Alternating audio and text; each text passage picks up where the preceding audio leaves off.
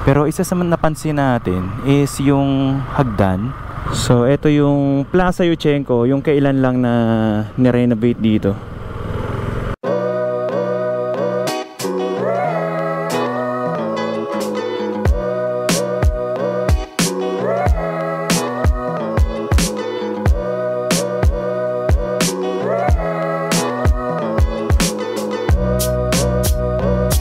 Etong Yuchenko Plaza daw pala, ang plano dapat dito is ite-turn over na to sana sa government.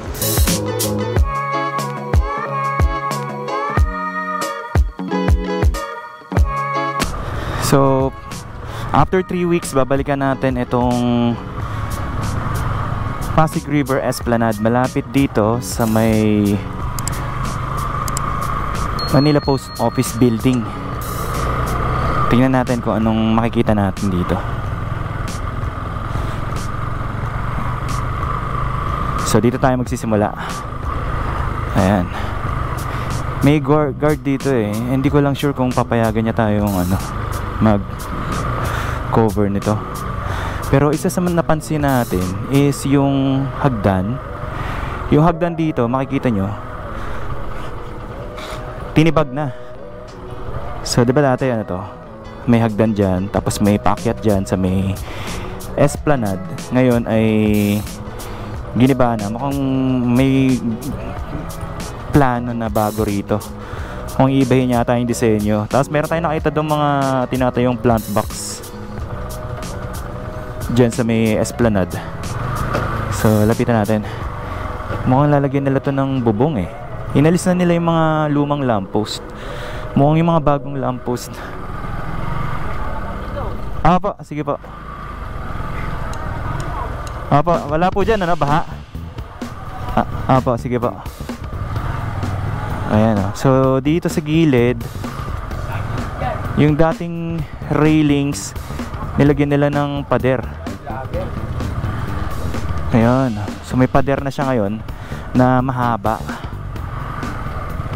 At dun nga kanina, nung pinaliparan natin ng drone yan, eh may ano yan, may mga plant box na nilagay dyan. Mukhang hindi na siya yung typical na esplanade na yung simpleng esplanade. Mukhang ano na eh, may mga ginawa silang ano dyan. Bagong design. Ito yung mga lumang railings dati oh. Dito sa may esplanade. So tinanggal na nila. At yun nga, may mga poste na dyan may mga pader na dyan na nilagay hindi tayo makakadiretso doon kasi baha dyan. Yan lang, inikot ko lang kayo rito. Iba na, iba na yung disenyo. Giniba na yung ano yung hagdan dito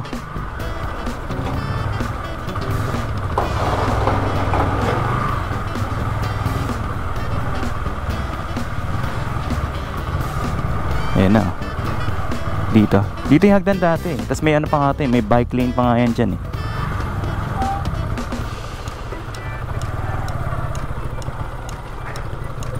Iba na. Hindi na kagaya dati.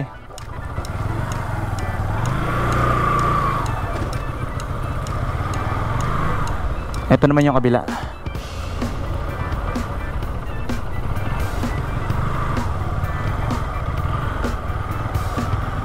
So ito yung papunta ng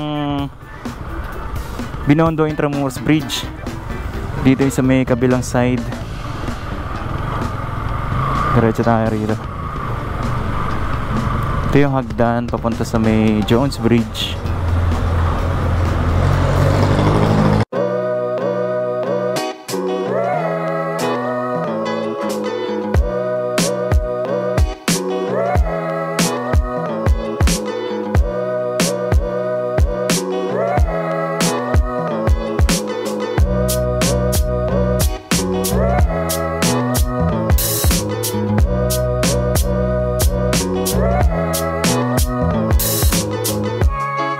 Dito tayo dadaan sa may Jones Bridge.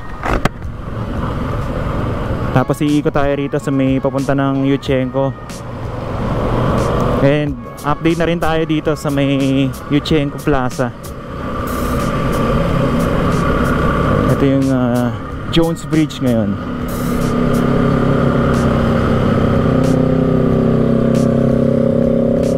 Ganda ng view, no?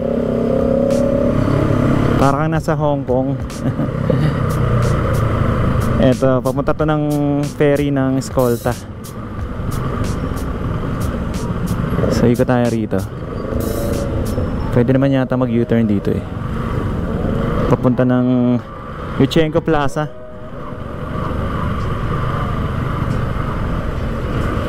Okay. Ito yung ferry station dito. Ayan. So, ito yung Plaza Yuchenko, yung kailan lang na ni-renovate dito. Okay, so nandito na tayo ngayon sa may Yuchenko, dito sa may kabilang side ng Pasig River Esplanade.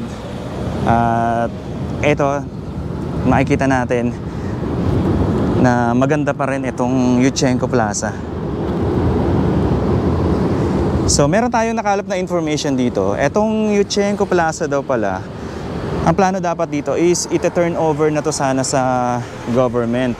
Pero nagbago yung isip ng Yuchenko company dahil baka nga raw mapabayaan ito kung government na yung mag-aasikaso nito. So, instead na ito turn over, ang nangyari is yung Yuchenko pa rin ang magpapatuloy ng maintenance nito yung security, may security dyan na nakapwesto na nagbabantay dito sa dito sa may park.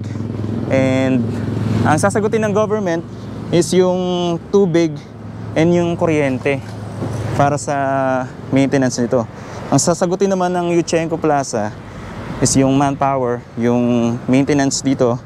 Si tatay kanina na naglilinis dito. At saka yung security. So, ganun yung nangyari. So, maganda rin kasi maalagaan itong Yuchenko Plaza. Kasi sayang naman kung ganito kaganda, eh, mapapabayaan. So, kanina, nagpalipad tayo ng drone banda ron at nakita natin na may malaking pagbabago dito sa may Pasig River Esplanade. So, makikita niyo dyan, yung dito sa may harapan, meron silang nilagay na bakod na parang harang dyan. Tapos, napansin natin na parang maglalagay sila dyan ng plant box. May mga plant box silang nilagay dyan. Sa may bandang malapit dyan sa may... Dito sa may Manila Post Office Building. Tapos yung hagdanan, eh giniba na nila. At hindi pa natin alam kung anong plano dyan eh. Pero nag-iba yung disenyo. Pati yung dito sa may kabila, parang may pagbabago rin silang gagawin. So, abangan na lang natin yan. Mukhang hindi na yata itatayo yung mga lamppost na na-feature natin doon sa nakaraang vlog natin. Itong mga bagong lamppost na to. Parang hindi na yata gagamitin. Mukhang iba na yata ang plano. Mukhang lalagyan yata ng bubong kasi may mga pundasyon ng poste dyan na parang lalagyan ng cover yung ibabaw.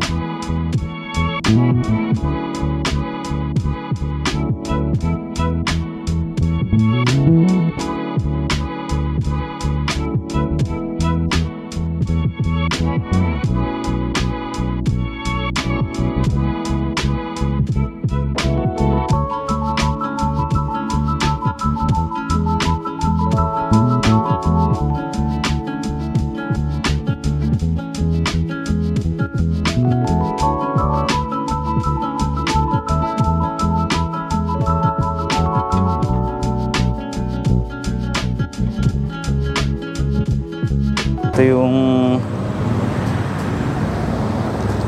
ferry station dito. Sarado na siya ngayon kasi ano na, 4 p.m. na. Escolta Station. Ayan, ganda rito. Alright, so yun na muna ang simpleng update natin dito sa may Pasig River Esplanade and dito sa may Yuchenko Plaza. Maraming salamat sa pagsama sa akin sa mga updates and magkita-kita po ulit tayo sa mga susunod na mga updates. Thank you so much and God bless po sa inyo lahat.